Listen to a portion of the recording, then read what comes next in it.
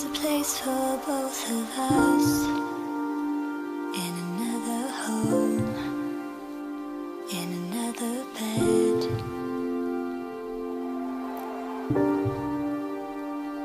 When we can lie down and just rest.